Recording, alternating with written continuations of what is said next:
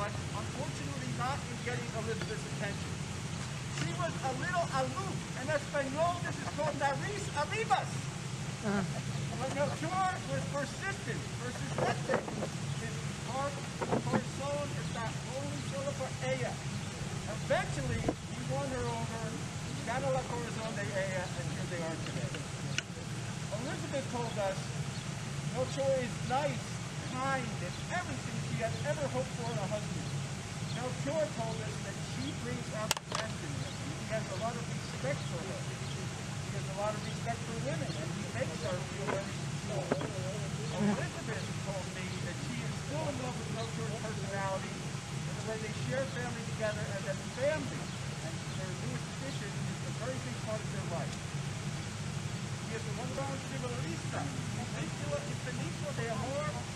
que comparte, que mantiene su relación fuerte.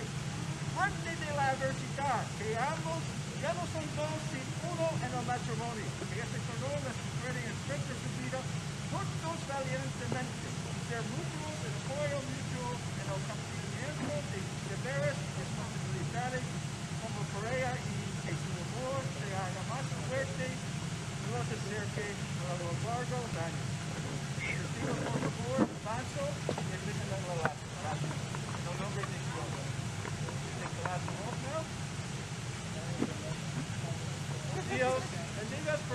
reja por todos los días de la vida. Amén. Thank you so much for the promises you have made to one another in front of these witnesses and by the powers that you mean by the state of New York I now pronounce you husband and wife. You may now kiss your bride to the earth to this body.